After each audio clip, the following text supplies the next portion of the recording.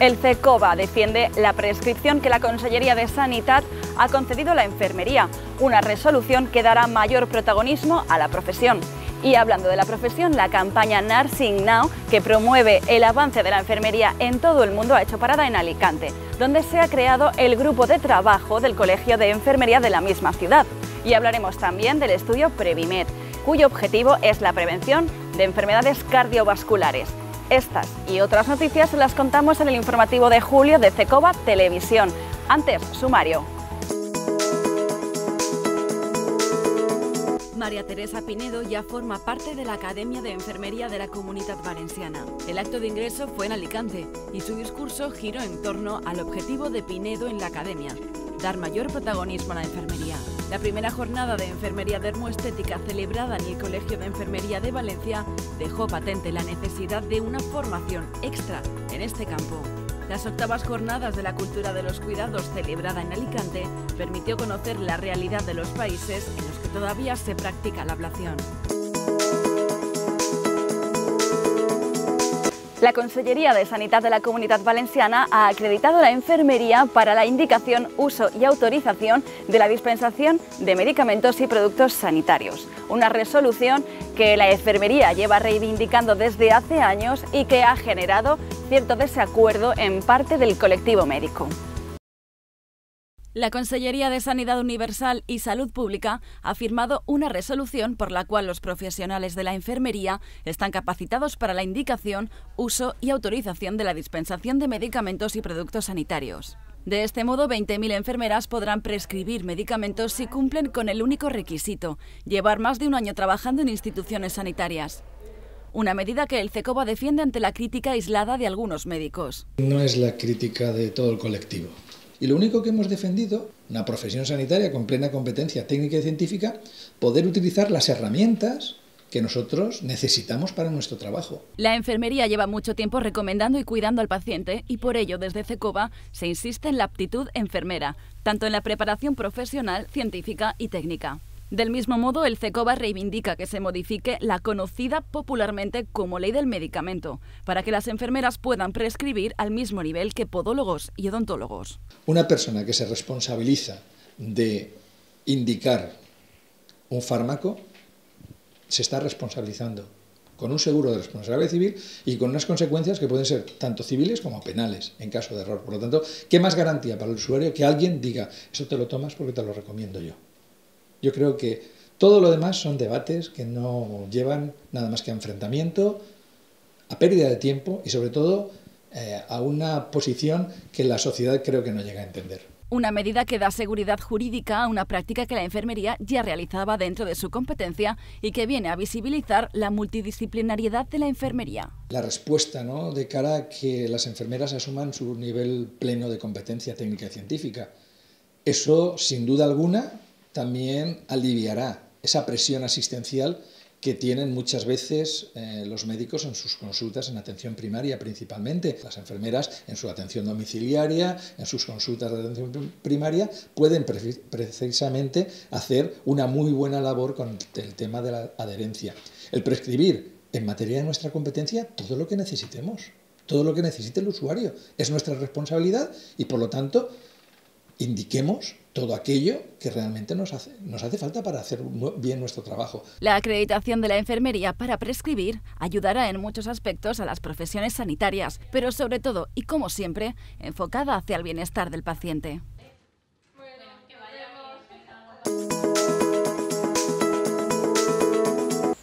Llevar una vida saludable para evitar enfermedades cardiovasculares es lo que el estudio Previmed Plus promueve en los centros que visita.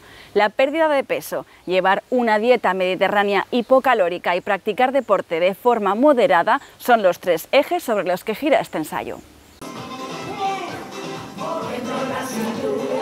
Practicar ejercicio de forma moderada, como aquí por ejemplo bailando, y una dieta mediterránea hipocalórica, son las claves de Previmed Plus un estudio que se está llevando a cabo en 23 centros de salud de toda España y cuyo objetivo es la prevención de las enfermedades cardiovasculares. Previmed Plus es la continuación del estudio Previmed, que mostró cómo la dieta mediterránea suplementada con aceite de oliva virgen extra y frutos secos reducía el riesgo de mortalidad cardiovascular en un 30%. Que sabemos que la gente que sigue la dieta mediterránea con un notable o con un sobresaliente van a tener mejor estado de salud, van a tener menos riesgo de enfermedades crónicas y cardiovasculares, diabetes, algunos cánceres y esto es lo que estamos intentando acabar de demostrar aquí. En Alicante el estudio Previmed se ha implementado en seis centros de salud y se está llevando a cabo por un equipo multidisciplinar en el que participan dos enfermeras. Eh, participamos en la captación y luego participamos pues en el control y el seguimiento. Pues les hacemos electros anuales, les hacemos eh, eso, electros, les hacemos dobles vasculares, les hacemos analítica de revisión, control de constantes vitales.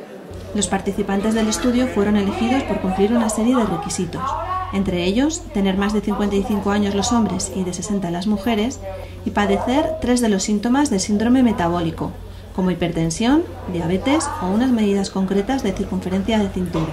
Decía cómo había que comer, las frutas, que comiéramos por lo menos cinco frutas todos los días. El equipo y los participantes de Predimed Plus Alicante han celebrado que el estudio, que tiene una duración prevista de seis años, ha llegado ya a su cuadro.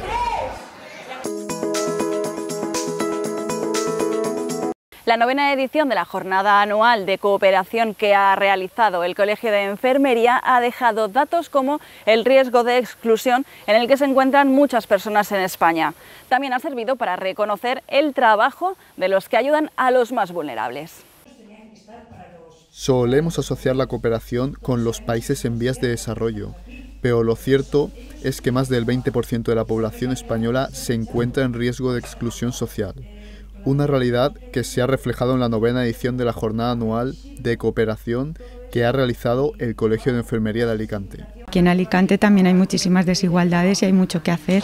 Entonces, bueno, pues otros años ya lo habíamos hecho, pero este año pues queríamos volver a retomar eso. El grupo de trabajo de cooperación al desarrollo del Colegio de Enfermería de Alicante surgió a raíz del terremoto de Haití de 2010 con el objetivo de canalizar las inquietudes de los profesionales de la enfermería que querían ayudar a los afectados por la catástrofe. Pues todos los aspectos sociales también se puede ayudar mucho porque bueno, pues tienen necesidades de todo tipo. En el transcurso de la jornada de cooperación se ha realizado un almuerzo y una comida solidarios para recaudar fondos destinados a las organizaciones locales que han participado en ella.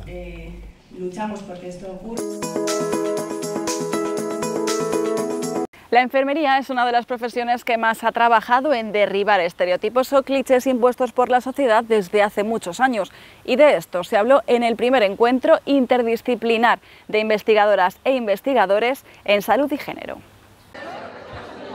A lo largo de los años 90 y gracias al fruto de investigaciones, se han concluido diferentes informes en los que se ha constatado la necesidad de incorporar la perspectiva de género en la sanidad. A día de hoy, y a pesar de toda la información de la que disponemos, su implantación sufre una ralentización que propone nuevos retos dentro de la enfermería. Estas investigaciones de alguna manera todavía no han llegado a ser implementadas dentro de la docencia universitaria o muy poquito y esto hace que luego a la hora de la práctica profesional se produzcan sesgos de género en la atención sanitaria. Fue el, crear este encuentro con gente que investiga en, desde todas categorías profesionales, pero también de diferentes disciplinas. Enfermería eh, tiene ese, quizás estamos más como más concienciadas en, en esa visión más holística de lo biopsicosocial y tenemos una formación como más abierta. ¿no? Puestos de responsabilidad que ocupan hombres o el conocido techo de cristal son ejemplos reales en la mayoría de organismos. En lo que respecta a la atención en enfermería, también existen desigualdades. Podem estar davant d'una persona que nosaltres com a professionals la llegim com a dona, per exemple, i ella no, se sent, no es una dona. Una perspectiva de género que no se debe obviar, ni en enfermería, ni en sanidad, ni en ningún otro ámbito laboral ni social.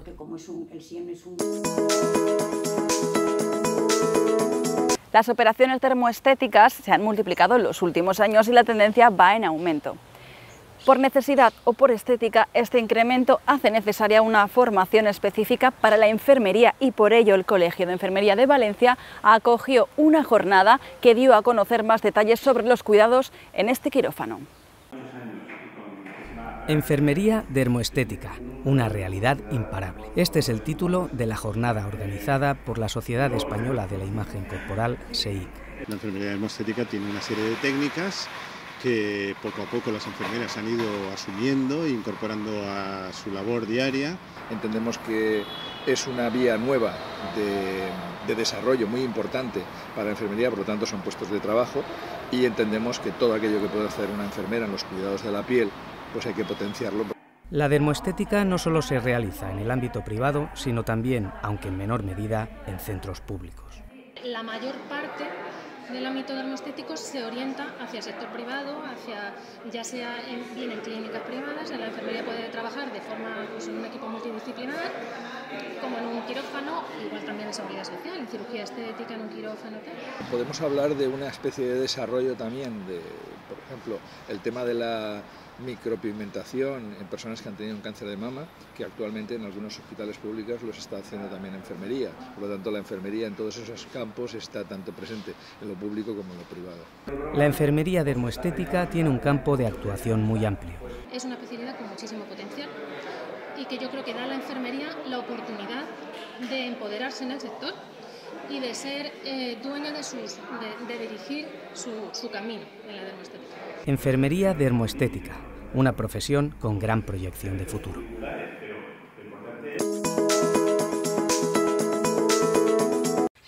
Todavía existen muchos países en los que se practica la mutilación genital, lo que conlleva a una violación de los derechos humanos y los riesgos que conlleva la ablación. Una de las ponencias de las octavas Jornadas Internacionales de la Cultura de los Cuidados giró en torno a esta práctica. Tres millones de niñas están en riesgo cada año de padecer mutilación genital una práctica asociada a costumbres culturales y religiosas que aún se da en una treintena de países de África, Asia y Oriente Medio. Cómo luchar contra esta grave violación de los derechos humanos ha sido el eje de las octavas Jornadas Internacionales de Cultura de los Cuidados celebradas en la Universidad de Alicante. En ellas ha participado la enfermera española de origen guineano Cadillato Valdé, que ha investigado la mutilación genital femenina en Guinea-Bissau para su trabajo de fin de grado. Una de las entrevistas que realicé en el trabajo es a la mujer que lo practica, que le pregunté del por qué se practicaba, se llevaba a cabo esa práctica y me puso te ponía algunos ejemplos, como por ejemplo, ah, no te comes el pescado sin limpiarlo o no te comes el plátano sin pelarlo, ¿no? Como diciéndote que, la mujer, para que sea limpia, para que se le considere pura, hay que practicarle la, la ablación. Aquí la prohibición directa no es efectiva. Es necesario comprender los motivos por los que se practica la ablación para poder desmontar poco a poco los mitos culturales que la sostienen y hacer visibles sus riesgos. lo más importante es que los profesionales tengan formación de, de, la cultura de esas personas a las que les llegan desde los centros de salud, del por qué lo realizan, el significado que tiene para ellos y saber intervenir no directamente prohibiéndolo, porque ahí ya vas a crear una barrera con esas personas, entonces no vas a tener acceso, de entrar les pierdes. Entonces es como una negociación con ellos. Hablar con ellos, eh, a lo mejor utilizando la palabra que ellos utilizan para llamar esa práctica, eh, darle la importancia que ellos le dan para ganarte a esa persona poco a poco, ¿no? La mayoría de casos de mutilación genital infantil que se detectan en España se realizan en los países de origen de las niñas aprovechando las vacaciones. Ante esto es fundamental la labor preventiva de los profesionales sanitarios. Como profesional transmitirle tus conocimientos, las consecuencias que supone para que ellos eh, decidan dejar de practicar esa práctica porque no hay ninguna madre que quiera consecuencias negativas para sus hijos. ¿no? Practicar la mutilación genital en España está penado con entre 6 y 12 años de cárcel y aunque se practique en otro país puede acarrear para los padres la pérdida de la custodia de la menor. El Colegio de Enfermería de Alicante ya cuenta con un grupo de trabajo que empoderará a las enfermeras y promoverá el avance de la profesión o lo que es lo mismo, la campaña Nursing Now. Foto de familia para celebrar la creación del grupo de trabajo Nursing Now del Colegio de Enfermería de Alicante.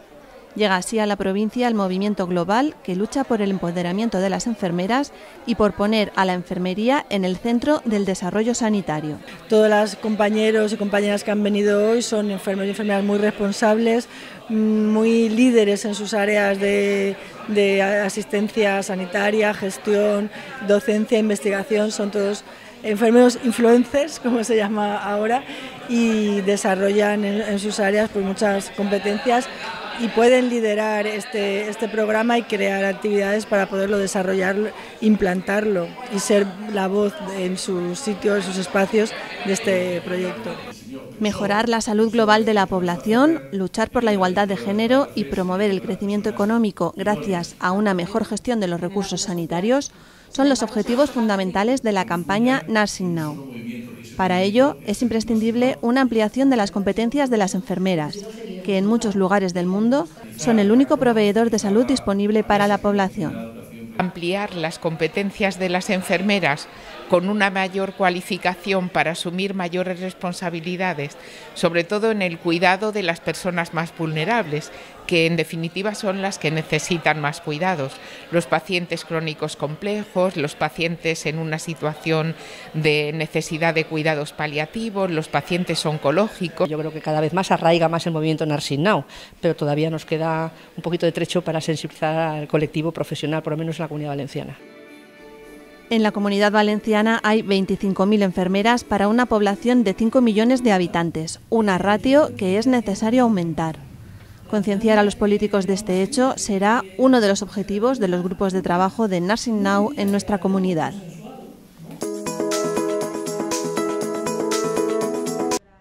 Los datos en España son cada vez más preocupantes. El 34% de la población adulta española fuma diariamente y el tabaco genera más de 60.000 muertes al año en nuestro país. Unas cifras que se han incrementado en los últimos años debido a un mayor consumo entre las mujeres y a un adelanto de las edades en las que los más jóvenes dan sus primeras caladas. Ante esta situación, varios hospitales valencianos decidieron realizar una campaña especial el pasado 31 de mayo con motivo del Día Mundial sin Tabaco. En el Hospital de Alcoy se instalaron varias mesas informativas y tuvo lugar unas jornadas para concienciar sobre los efectos negativos de este hábito. Estamos explicando a la gente que no debe de fumar, que se lo tiene que dejar y eh, a los chavalines que pasan por aquí les estamos diciendo que ni empiecen a fumar. El tabaco perjudica tanto a la persona que fuma como a los de su alrededor porque hay muchas muertes en España de fumadores pasivos que nunca han probado el tabaco. Mientras la Administración organiza campañas de prevención en los centros educativos, médicos y enfermeros tienen la oportunidad de tratar directamente con el fumador. El primer paso es buscar la confianza del paciente. Simplemente preguntar, ¿usted fuma?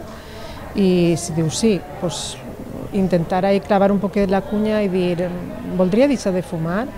¿no? Ese sería el primer punto, el primer arranque de ahí de, de, de intentar eh, que esa persona compte amb nosaltres per en la deshabituació tabàquica.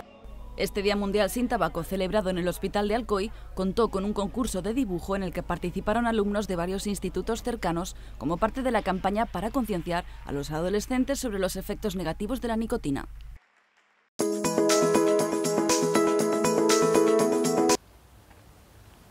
María Teresa Pinedo ya forma parte de la Academia de Enfermería de la Comunidad Valenciana. Por delante, tiene el reto de visibilizar el trabajo de las enfermeras.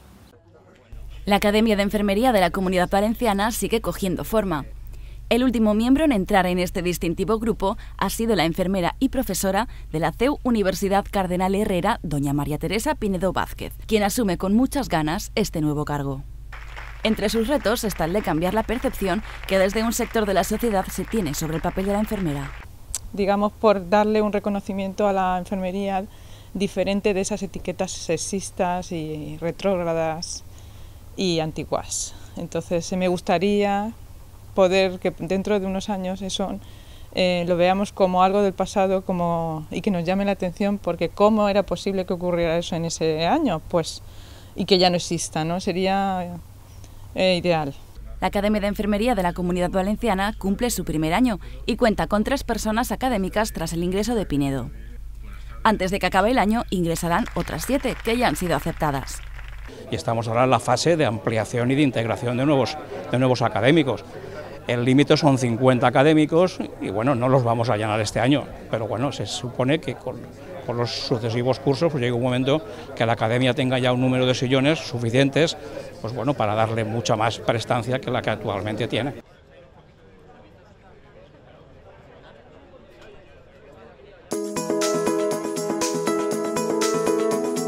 Los alumnos de cuarto del grado de enfermería de la Escuela Nuestra Señora del Sagrado Corazón se vistieron de gala para celebrar que ya son graduados. Tienen ante sí un camino muy largo de formación, pero sobre todo ya tienen un sueño cumplido. La Escuela de Enfermería Nuestra Señora del Sagrado Corazón de Castelló ha celebrado en el Salón de Actos del Hospital General Universitario de la capital de La Plana la graduación de su sexta promoción de enfermería 2015-2019 pues emoción de ya entrar al mundo laboral y poner a, prueba los conocimientos que he adquirido estos cuatro años. No, pues mucha satisfacción, tengo muchas ganas en realidad de, hacer ya la fiesta esta de la graduación. No sé, un poco nervioso. Pues la verdad es que estamos todos bastante emocionados porque es un día especial, que es como la cumbre ya de los cuatro años de carrera y bueno, emoción y ganas también por saber que esto ya se ha acabado. Un total de 45 enfermeras y enfermeros han obtenido el título de grado tras cuatro años de formación. Un balance positivo, estoy contento, termino y estoy orgulloso. Destacaría la cantidad de prácticas que hemos hecho y los distintos, las distintas medidas en las que hemos pasado. Cuatro años bastante duros, especialmente los primeros, eh, pero bueno, con esfuerzo y dedicación al final se ha conseguido. La directora de la Escuela de Enfermería destaca la tenacidad de los alumnos de esta promoción. Eh, son unos chicos muy críticos. Han tenido que pasar, es cierto, eh, pues por situaciones complejas. Eh, ya sabéis que la, Escuela de Enfermería está en un proceso de suscripción de la Universidad de Valencia. Han confiado siempre en todo el equipo directivo y en el equipo de, profesores y, bueno, y la verdad es que ha sido un placer trabajar con ellos. Mercado laboral y más formación a partir de ahora. Un futuro ilusionante. A ver, saben la bolsa pronto y así nos podemos apuntar. Voy a seguir especializándome, voy a estudiar oposiciones. Me gustaría hacer salud mental y de momento pues trabajando. Enhorabuena a los profesionales de enfermería de la sexta promoción de grado de la Escuela Nuestra Señora del Sagrado Corazón de Castelló. Eh, yo durante las prácticas, la profesora que teníamos detrás... Y hasta aquí el informativo de este mes. Volvemos el que viene con más información. Thank you.